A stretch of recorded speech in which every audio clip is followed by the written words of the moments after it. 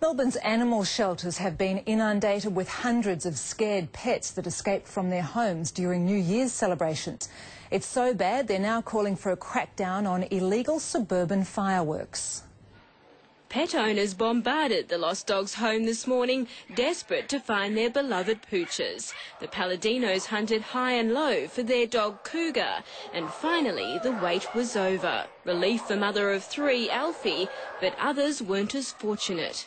No, no luck. Gail Caruso wasn't game to tell her sons their Labrador went missing.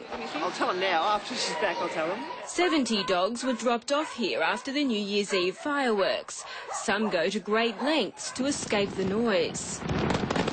We had one dog run through a plate glass window. It's an emotional experience for all members of the family. We have to have her back now, so we can see how happy she is. The Lost Dogs home says too many pets are brought in scared and distressed, and it wants the police and councils to crack down on illegal fireworks. It's just uh, unbelievable how they can just have it. Anyone can get hold of fireworks.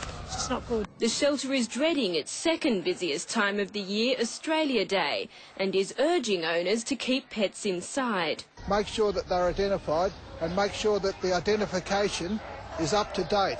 Marion Ives, 7 News.